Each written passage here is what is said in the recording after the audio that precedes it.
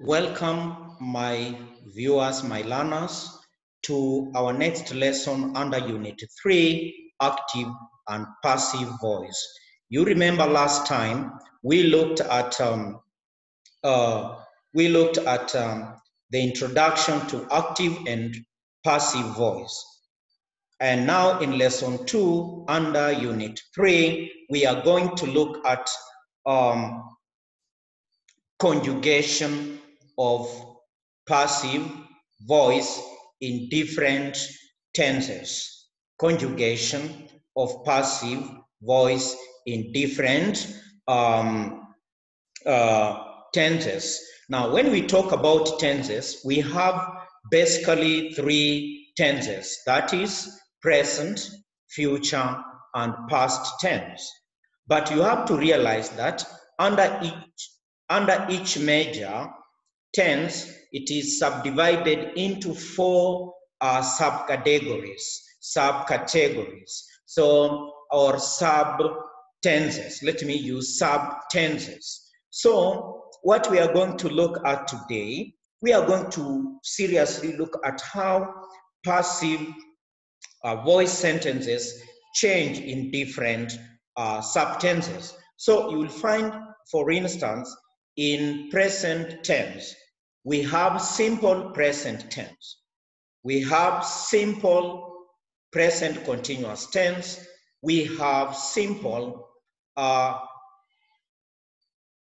present perfect tense, and we have uh, present perfect continuous tense, three. And the same subtenses are found in the past tense as well as in the future tense. So this brings uh, the total to 12 of them. So this is what exactly we are going to get into.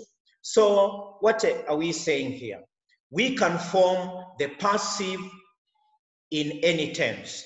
We can form the passive in any tense, meaning either in present tense, in future tense, and in past tense, but also under various subtenses found within the major uh, three tenses. In fact, conjugation of verbs in the passive tense is rather easy as the main verb is always in the past participle form and the auxiliary verb is always be. The auxiliary verb is always be. So what are we saying here? We are saying that to form the required tense, we conjugate the auxiliary verb. So for example, present simple, present simple, it is made. Present continuous, it is being made. Present perfect, it has been made.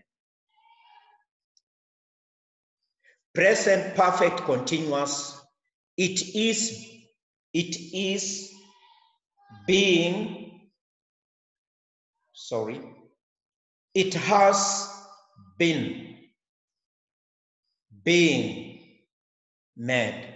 It has been being made. That is how we should understand that. So, here are some examples with most of the possible tenses. Like you take press simple present, it is washed. Simple past, it was washed. Simple future, it will be washed. It will be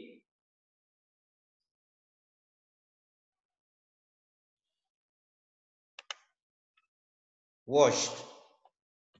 Then conditional, simple conditional, it would be washed.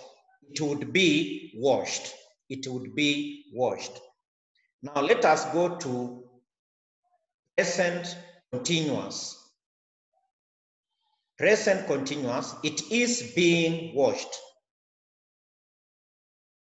Past continuous, it was being washed. Future continuous, it will be being washed. Then, I mean, conditional continuous, it would be being washed. So, what about perfect simple? Present. Present perfect simple. It has been washed. Perfect simple past. It had been washed. Past simple future. It will have been washed. And future future conditional. It would have been washed. What about present perfect continuous? Present perfect continuous. It has been being washed. Past perfect continuous. It has been being washed. Future perfect continuous. It will have been being washed. Conditional perfect continuous. It would have been being washed. So we are saying that only transitive verbs, only transitive verbs, that is those verbs that take objects, can be transformed into passive construction. So we are saying it's not all verbs that can be conjugated into passive constructions, but only transitive verbs. And what are transitive verbs? Transitive verbs are those that take objects, meaning can be transformed into a passive construction. Furthermore, active sentences containing certain verbs cannot be transformed into passive constructions or structures. How? To have, for example, to have. You see, to have is an infinitive. It has to, then it has have, which is the base. So to have is the most important of these verbs. We can say he has a new car. He has a new car. But we cannot say a new car is had by him. You see, we cannot say a new car is had by him. It can't work. We can say Josefina lacked finances. But we cannot say finances was lacked by whatever. So here is a brief list of such verbs that don't take um, don't, can in whichever sentence they are, they are found in, that particular sentence cannot be conjugated into passive structures. Resemble, look like, equal, agree with, mean, contain, hold, comprise, lack, suit, fit, become. Those are verbs that cannot be conjugated into passive voice. So let us move to another step where we want to look at how can you recognize active and passive sentences? How can you recognize active and passive sentences? Meaning what characteristics, what features can you be able to see for you to be able to tell that this sentence is active voice sentence and this sentence is passive voice sentence. Number one, find the subject. That's the main character of the sentence, the doer of the action. Number two, find the main verb, the action that the sentence identifies. And number three, examine the relationship between the subject and the main verb. So what are you really doing here? You would be asking yourself the following questions. Does the subject perform the action of the verb? If so, the sentence is active. I'm saying, does the subject perform the action of the main verb? If so, the sentence is active.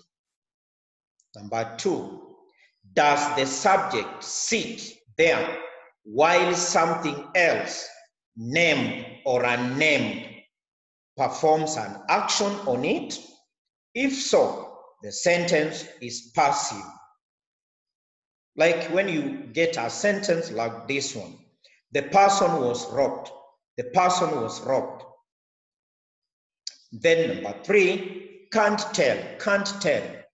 If the main verb is a linking verb, for example, is, was, are, seems, to be, becomes, etc., then the verb functions like an equal sign. Therefore, is no action involved. It merely describes a state of being, but not an action. So, active and passive overview. So we shall be seeing a sentence in active and passive. Simple present. Once a week, Ukbad cleans the house. Passive, once a week, the house is cleaned by Ukbad. Present continuous. Right now, Warsame is writing the letter. Right now, Warsame is writing the letter. Passive voice. Right now, the letter is being written by Warsame. Right now, the letter is being written by Warsame. Simple past. Is Casey repaired the car. Casey repaired the car. Passive voice. The car was repaired by Casey. The car was repaired by Casey. Past continuous. Past continuous. The salesman was helping the customer when the thief came into the store.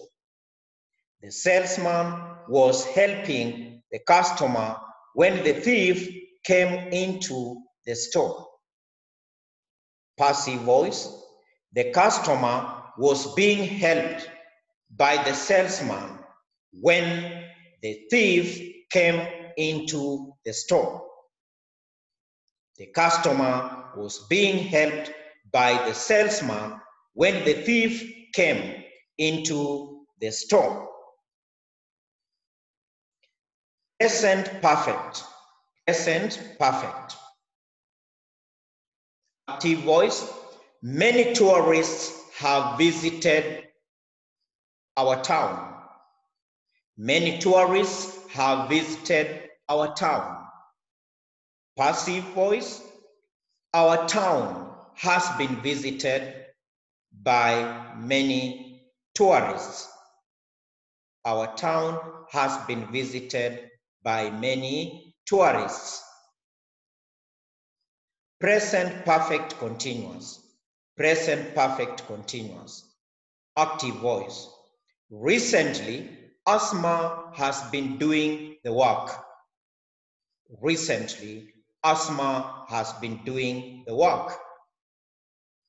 Passive voice. Recently, the work has been being done by Asma. Recently, the work has been being done by Asma. Let us look at past perfect. Past perfect. Adam had repaired many cars before he received his mechanic license. Adam had repaired many cars before he received his mechanic's license. Passive voice. Many cars had been repaired by Adam before he received his mechanic's license. Many cars had been repaired by Adam before he received his mechanic's license.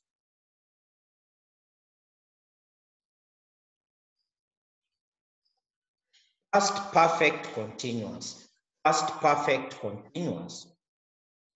If Abdi had been preparing the restaurant's fantastic dinners for two years before he moved to Addis Ababa. Chef Abdi had been preparing the restaurant's fantastic dinners for two years before he moved to Addis Ababa. Passive voice. The restaurant's fantastic dinners had been being prepared by Chef Abdi for two years before he moved to Addis Ababa. The restaurant's fantastic dinners had been being prepared by Chef Abdi for two years before he moved to Addis Ababa. Simple future, but when we are using will. Remember when I was teaching you on tenses, I told you future tense is a will tense, but it also takes going, going, or in, in, and I will show you how it goes. So will, someone will finish the work by 5 p.m. Someone will finish the work by 5 p.m. Passive voice, the work will be finished by 5 p.m. The work will be finished by 5 p.m. That is simple future, but with the usage of will. Let us see simple future, but with be going to. Nora is going to make a beautiful dinner tonight. Nora is going to make a beautiful dinner tonight. That's active voice. What about passive voice? A beautiful dinner is going to be made by Nora tonight. A beautiful dinner is going to be made by Nora tonight. Let us move to future continuous, but with the will. Future continuous, but with the usage of will. At 8 p.m. tonight, Jamila will be washing the dishes. At 8 p.m. tonight, Jamila will be washing the dishes. That's active voice. What about passive voice? At 8 p.m. tonight, the dishes will be being washed by Jamila. At 8 p.m. tonight, the dishes will be being washed by Jamila. Let us look at future continuous but with be going to. So in active voice, for the future continuous but with the usage of be going to, would say, at 8 p.m. tonight, Jamila is going to be washing the dishes. At 8 p.m. tonight, Jamila is going to be washing the dishes. What about passive voice? At 8 p.m. tonight, the dishes are going to be being washed by Jamila. At 8 p.m. tonight, the dishes are going to be being washed by Jamila.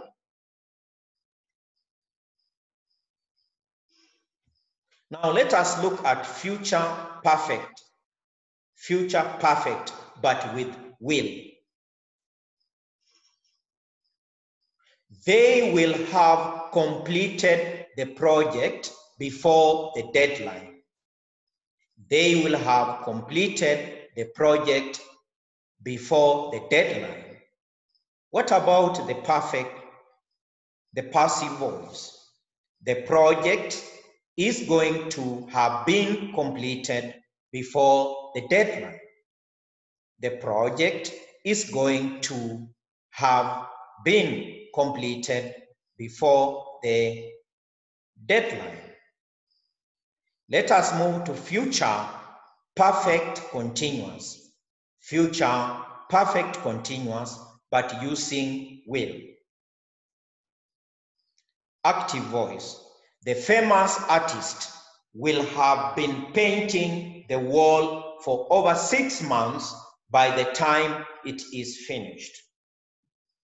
The famous artist will have been painting the wall for over six months by the time it is finished. What about passive voice? The wall will have been being painted by the famous artist for over six months by the time it is finished. The wall will have been being painted by the famous artist for over six months by the time it is finished. Let us move to future perfect continuous, but with the usage of be going to, be going to. So, active voice. The famous artist is going to have been painting the wall for over six months by the time it is finished. The famous artist is going to have been painting the wall for the for over six months by the time it is finished. What about the passive voice? The wall is going to have been being painted by the famous artist for over six months by the time it is finished. Again, the wall is going to have been being painted by the famous artist for over six months by the time it is finished. Let us move to used to. Used to. You can say Khalid used to pay the bills. Khalid used to pay the bills. That is active voice. What about uh, passive voice? Passive voice, you can say the bills used to be paid by Hollywood. You can say the bills used to be paid by Hollywood. Let us move to would always. Would always. Remember, you don't pronounce L. L is silent. So would always. So you can say in active voice. My mother would always make the pies. My mother would always make the pies. What about the passive voice? The pies would always be made by my mother. The pies would always be made by my mother. Let us move to future in the past. Ha, ha, ha. Future in the past. Look at that. we want to we want to conjugate a passive voice in future. Let me come again. Future in the past. Future in the past. Look at that. So if there is future in the past, when was the present of that future? That's the question. So now listen keenly. That is future in the past. I knew Ferreira would finish the work by 5 p.m. I knew Ferreira would finish the work by 5 p.m. Passive voice, I knew the work would be finished by 5 p.m. by Ferreira. I knew the work would be finished by 5 p.m. by Ferreira.